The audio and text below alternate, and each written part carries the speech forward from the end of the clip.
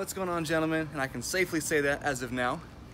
Welcome to the first video of the electric go-kart conversion and I've decided after taking it apart and starting to work on it a little bit that it's kind of more of a UTV or buggy style of thing so I'm going to kind of brand it a little differently. Um, super excited to get it started. Today we're going to go over the teardown and the plan and show you the components for what we're going on here and also go over the design for the battery, that kind of thing. So we'll have a, a, lot of information going out in the first stages of building. The next video we'll be working on building the 12 volt system and uh, just getting started on some of the actual work of it. So stay tuned for the whole series. Uh, I'll try to make it as compact as I can, but ultimately everything that I do, I will film and I will post for you guys. Uh, full start to finish conversion. Super excited to take you along for the ride, so let's get to it. You can see it's actually a pretty cool piece of machine as it stands right now. Full suspension, front wheels are pretty small. So what we're gonna do is get some 18 inch wheels, rims and wheels, actually gonna be aluminum rims, look pretty dang sweet. It'll level it out and it'll kind of have more of a side-by-side -side look at the end of that. That's my goal. We're gonna need to take these bars here and chop them and put them a little higher and a little further in, just so that the wheels don't rub when the uh, steering wheel turns the electronics up here, the ignition switch, all that stuff, none of that works. Uh, this down here, it's about, a, I think it's a 125 motor and probably put on just a couple of horsepower. And it was just too slow to be a lot of fun. So we're gonna take it and try to maybe give it five times the power, we'll see. I'm gonna put the battery right here.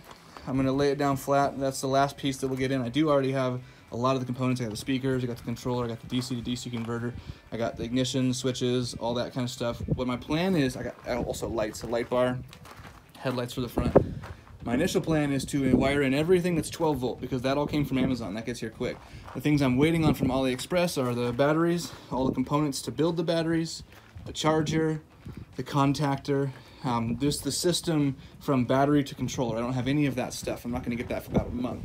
So my goal is to get all the 12 volt stuff done, frame modified, build myself a little panel here, a, a console where you can have a cigarette lighter, a USB, um, a place to mount a phone, just everything, you know, voltage meter, temperature gauge, that kind of stuff. I might just put a, you know, in the back here maybe, just a little uh, bracket that holds a piece of stained wood or something like that.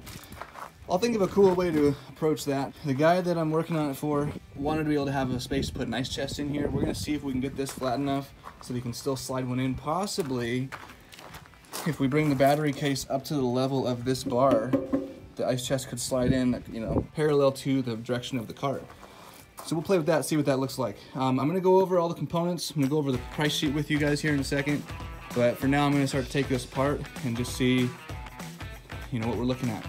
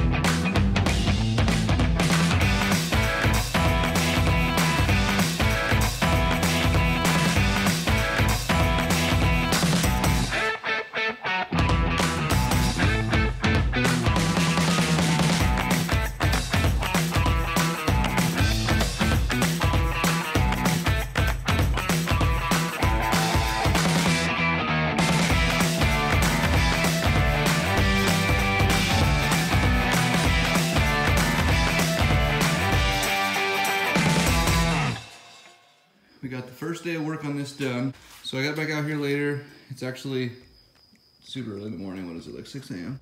5.30 a.m. Sun is barely coming up. I got out here about midnight, so I worked for five hours and then cleaned up for another half hour. We took out all of the gas components, as you saw. I did leave the brake as the one thing that's attached. I pulled the choke, I pulled the throttle, I pulled some wires that were running towards the back here. I'm gonna start by modifying frame and actually painting. I'm gonna take care of everything that is modification first. That means I gotta put it together one time and then I'm done. So what I'm planning on doing at the front here is connecting between these two points there, making a little bit of a dash console. It's gonna have um, the plugs for USB, just a generic household plug, and a cigarette lighter. Um, above that, up here, we're gonna have the controls for the lights. I'm gonna mount a light bar up on top. We're gonna take this whole panel off. It all just unscrews from the bottom. We'll put a light bar up there. In the front down here, probably just there and there, I'll put on two little flood headlights. I'm gonna separate each of these components where it bolts on so this roll cage will come off and then we'll take off the back axle with this swing arm. We'll pull that off for painting. These shocks are super stiff and they're actually in good shape. These front ones are soft and not in great shape. I'm gonna replace the front shocks. There was actually a little bit of an issue with when I had it standing up. The attachment points for the bottom end of those struts um, actually got hit by rocks and whatever else as it drove across the ground because it didn't have much ground clearance. I may need to straighten some of those out and uh, kind of do some welding on that. My only concern would be that the wheels are offset differently, you know, further back or forward or they're not aligned correctly. So if I identify that's an issue, I may need to rework some of those connection points. But otherwise, the structure is in excellent shape. I went ahead and cleaned up, ground off the points where those things I pulled off attached. Now this is the cool panel here actually. This is where I'm going to be housing the DC to DC converter. It had a lot of electronics going into it. I haven't opened it up yet. Uh, I was going to and then I just, it's kind of late. So I'm going to try to get home in time for church and not, not really good night of sleep. Um, but I'm going to pop that open, put the DC to DC converter in there, any other odd electronics, relays, that kind of thing, I'll go ahead and house them inside of that so you won't see them. And then there's just little spots in the bottom where cables can come out. You can see down there. And so I'll be able to house everything and run it out and I won't see a mess of wires anywhere. So let me actually show you all the components. I got a box of some of the goodies that came in here. This is the motor, the ME1718, uh, up to 300 amps for two minutes. Continuous rating is 100 amps on this unit. It's super linear and predictable power band based on the graphic they sent. One thing that I had a lot of struggles with today was this axle. And it actually attaches on there in a weird way where there are brackets that kind of bolt in. And it's got almost no tolerance for error and I could not get it to rehouse until I stood it up on its butt. Um, and then I was able to work on it freely. I do need to take off, this was a, a one of those tightening joints where you twist the thing in the middle and it pulls it together or moves it apart and it was attached to the differential. And so I got to figure out how to get that off of there. Um, it's conveniently right next to the sprocket, which is going to be replaced. So as soon as I figure out, I may have to take it off, take all of these sheathings off, because these actually spin independently over the solid axle. I may need to strip everything off down to this point to pull those two things off. But those look like they're held on by set screws that are kind of rusted. So I'm not looking forward to that. I'm going to hold off on that until the time comes. Um, the motor we're going to mount, obviously in line with that sprocket. I think I'm going to mount it more towards the front here rather than towards the back. Previously, there was a shaft up higher that connected into this point that connected downward. I might want the gear to run from the front down this way. I plan to mount the controller possibly right on here. Um, I think I might have the motor and the controller on the uh, unsprung weight portion of this axle. This whole housing, obviously, it hinges back there, and so this whole thing compresses. The battery is gonna sit up on top. It's a super cool battery. The one thing that I think is pretty cool is we got actually a little speaker system that just wires into 12 volt Bluetooth. I'm gonna hook that up either, maybe suggestions on this, either on top of the battery so that it's like at head level or maybe up on top of this rack here. Facing forward. I don't want it on top of it, I don't think. I'm gonna have it like underneath this rack. I don't think I want it on top just because it's gonna be raising the height. The first thing that gets hit by branches is unprotected. Just kind of look through some of the things that we got. Um, I got my relays in case we need those. This DC to DC converter actually is super powerful. 300 watts, uh, and so it actually has a key input, which is basically a built-in relay. So I don't need a relay for my contactor, which is actually still coming from AliExpress as well. Um, those are the headlights. Here's the light bar. I've got the tail light in here. So 428 chain. I got a 56 tooth sprocket for the back. Um, buttons for the horn. Got an ignition switch. Everything's in, ready to roll. We're gonna take the 12 volt, turn it to 5 volt. We're gonna also invert it back to AC so we can plug in household things to this. Uh, basically, you've got a seven kilowatt hour battery pack that you're, you know, you could take up camping, whatever else. Might as well use it as a mini generator, was my thought. So this will be like a UTV, all-purpose utility vehicle. That's the main intention of it. So honestly, the more I work on it, the more excited I get about it. I would say my enthusiasm for this tops where we were at with the um, Electric Cafe Racer. I did mention this controller. Um, it's a 500 amp. So we'll go ahead and sign up for now. Um, I'll cut over to looking at some of the components so you can see you know the cost of things. I did get some things straight from manufacturers. I got some things um, second-hand controller I got for like $200 shipped from Florida.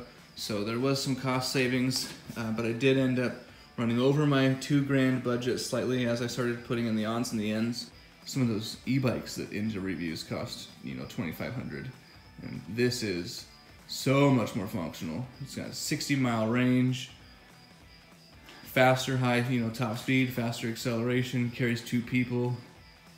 I mean, speakers, plug anything you want to into it, take it off road, take it to the dunes. I mean, possibilities are endless.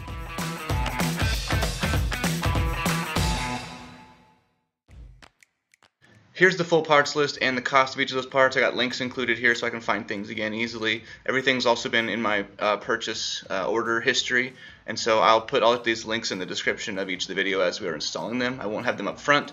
There is a small chance certain things change, and as things change, I don't want to have an outdated parts list. You never get a perfect order off the bat.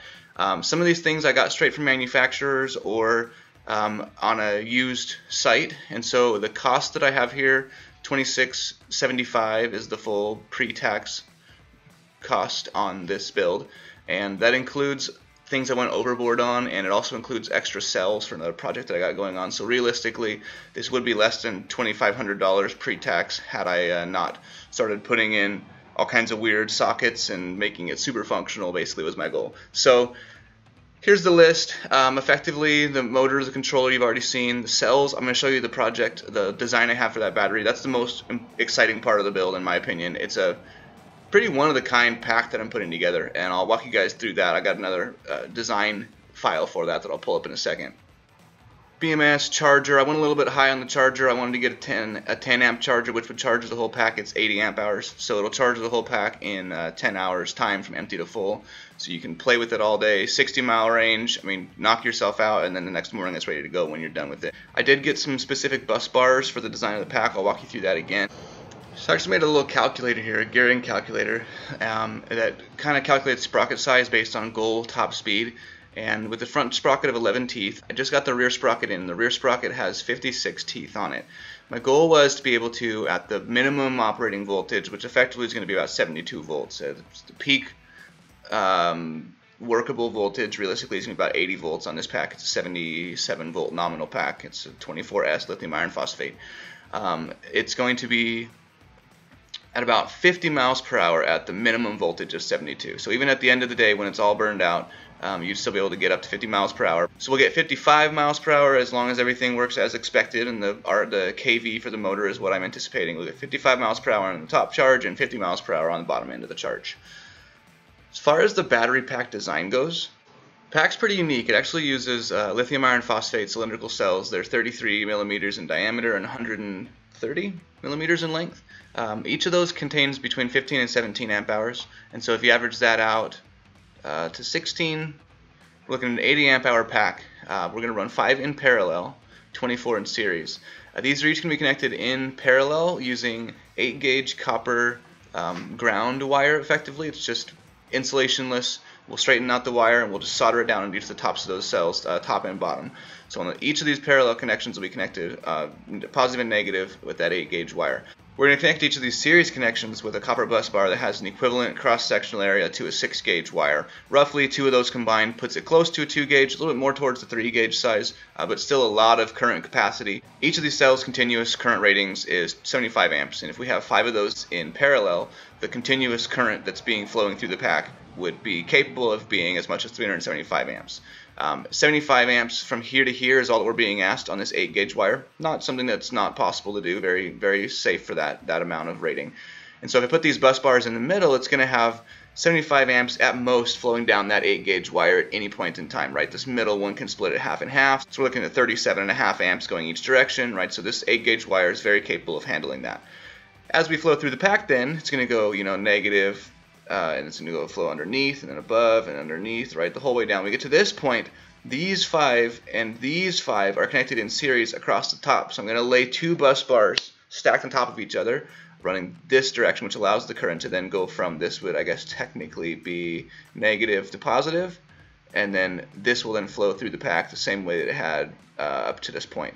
Across the top on this end for the positive and the negative discharge ports, I'm going to go ahead and just have one bus bar stacked on here. And if we do that and we put it in the center, what we're going to see is 2 times 75, so 150 amps flowing, and that's totally capable to do with a 6 gauge uh, connection. These will then discharge out of a single point. I got the BMS attached here. Each balance wire is going both directions to each of these positive locations. One on the one negative cell terminal, one on the one on the 24 positive cell terminal. So we have one on each end, and then all the positive connections are connected from there. Obviously, we'll also have charge cables, so I'll add a charge cable on probably the ends of each of these. Uh, smaller gauge, probably 10 gauge or so. This pack is held in place by, um, it's going to have a grid of brackets effectively like you'd have for those those plastic holders you'd have for 18650 so think of this just like a blown up version of an 18650 pack. Um, the cells very unique. The design of this never been done before with this size of a cell.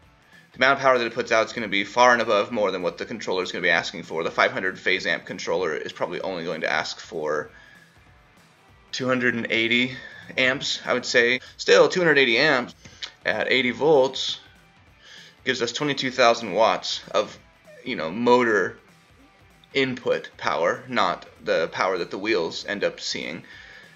In horsepower, that puts it at 30 horsepower. Accounting for some reductions, let's just say an 80% efficiency, we're still going to see 24 horsepower at the wheels. So having this continuous current rating of this pack is going to allow us to tune the controller as aggressively as we need to be able to see the maximum output that um, we're capable of getting.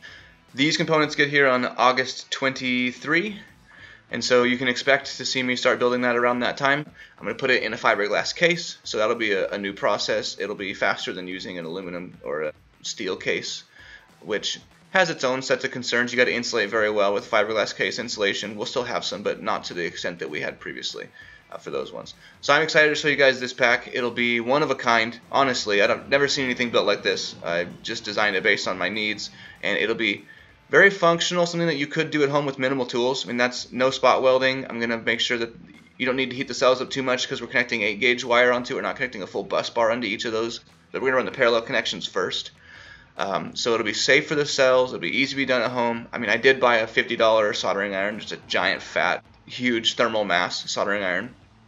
I've enjoyed having it tremendously. I've been able to solder onto anything I want to solder onto and do it quickly. The bigger the iron, the safer it is for the cells because the heat hits faster. Um, so we're going to do it in a way that really anybody could do. The pack itself for a 7 kilowatt hour battery, um, after all the bus bars and everything's purchased, we're looking at like 900 bucks. So very reasonable. I mean, obviously, wow, that's an expensive thing, but for 7 kilowatt hours, $900, pretty dang good. Uh, if you were to buy a 7 kilowatt hour pack pre-created with the capability of putting out the current that we're building here, I would say probably three to four grand. I mean, nothing that you could find for anywhere near this price range. So something that we're I'm I'm really excited to, to build and show you guys the process and give you the links for. Uh, it's going to be about 70 pounds worth of cells, I want to say. So 80 pounds all said and done is what I would anticipate. So not unreasonably heavy for the amount of density that we're getting.